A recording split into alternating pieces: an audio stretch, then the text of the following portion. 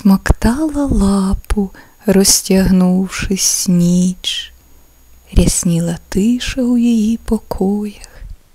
Яка це розкіш!